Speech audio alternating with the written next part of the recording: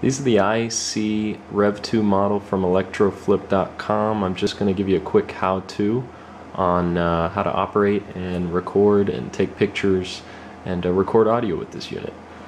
Go ahead and uh, just grab yourself a micro SD or TransFlash memory card. Uh, for this demonstration purpose I'm just using a 2 gigabyte. You can uh, use up to a 16 gig. Go ahead and insert this guy here. You'll hear that click sensation. It's got a spring load slot. I'll do that again. You'll hear that that spring load. Make sure it uh, gets pushed in just past uh, flush and it'll lock itself into place. To eject, you just uh, push it in again and it will eject on its own, like so. Put it back in. Alright, now to boot up the camera, Go ahead and press the on off button here, which is the power button. You'll see the lights cycle. Um, wait till it's a solid uh, reddish state and uh, then it'll be ready uh, and in standby waiting for you to uh, begin a recording.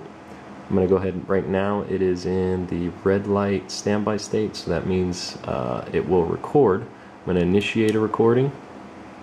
I just press the power button again that begins a recording. I just pressed it for a second. Um, originally when I booted up the camera it took about four or five seconds of holding the button but in this case we're just recording so press again to stop the record again to begin to record again to stop. You get the idea. Uh, when it uh, records you'll see the um, continuous blinking light down here. When it's the recording stopped it will uh, come to a halt and just uh, remain in standby. To cycle between the options, the next option is uh, you got a blue light now. It's hard to tell on the camera. Uh, for video, it's red. For blue, it's pictures. Um, and for yellow, it is just audio recording. Um, I'm going to take a picture. You'll see it blink once. That means it's taken a picture. Do it again. Blink once, taking a picture. I'm going to cycle this again. Now it's on the record audio only. Begin it audio recording, just press once on the power button here. Now you'll see the blinking and you'll see a blue and yellow blinking light. That means it's just recording audio. Now I'm going to stop that recording. Recording stopped.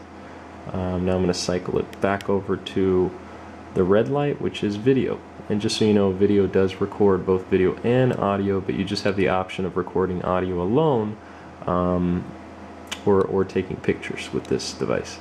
I'll go ahead and power it down now, press and hold for about four or five seconds. The lights will completely go out, that means it's powered off. If you've left the camera in standby, it will auto power off in, uh, I believe, approximately two minutes or so. Uh, if the user does not initiate a recording or do anything. Um, and that is the iSee Sunglass Rev 2 from electroflip.com. Thank you.